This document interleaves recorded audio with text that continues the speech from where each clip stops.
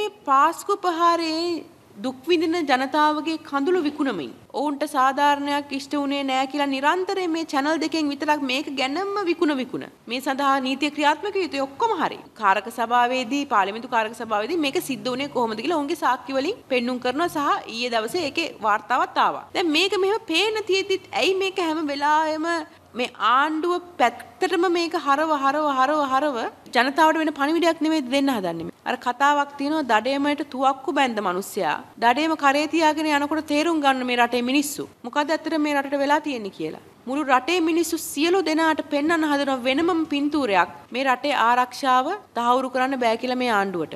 එහෙනම් මම ඉතාමත් උමනාවිල්ලා බුද්ධිමත්ව හිතන්න. සජිත් ප්‍රේමදාස මැතිතුමා ගෝඨාභය රාජපක්ෂ මැතිතුමාට ප්‍රසිද්ධ සංවාදයකට එන්නේ. ඒ සංවාදයේ ඔබ කිව යුත්තේ ඔබ ඊළඟ අවුරුදු පහේ මේ ආණ්ඩුව කරන්නේ කොහොමද? ඔබට තනියෙන් එන්න බැරි නම් අයියත් එක්ක එන්නත් පුළුවන්. එදා ආපු සෙනගත් එක්ක එන්නත් පුළුවන්. සජිත් මැතිතුමා තනියෙන් එනවා. තවත් කරුණු කිහිපයක් සම්බන්ධයෙන් මන්ත්‍රීවරිය මෙහිදී අදහස් පළ කළා. දැන් මේ දවස්වල මොකද්ද කියන්නේ? ගෝඨාභය රාජපක්ෂ මහත්මයාව ගේමුළු අවසන් වතාවට මවබිම බේරගන්න.